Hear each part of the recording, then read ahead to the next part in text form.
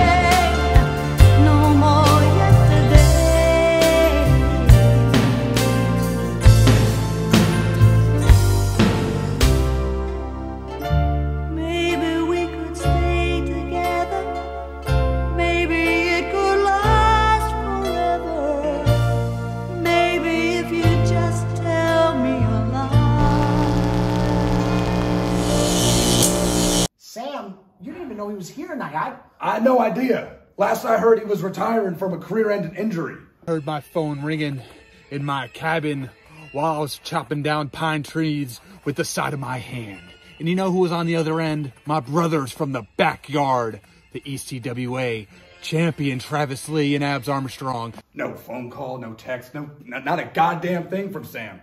And then he has to come in and steal my limelight. I had Joey Ace right where I wanted. On May 20th, Joey Ace, Sam Shields, the Backyarders will bury you once and for all.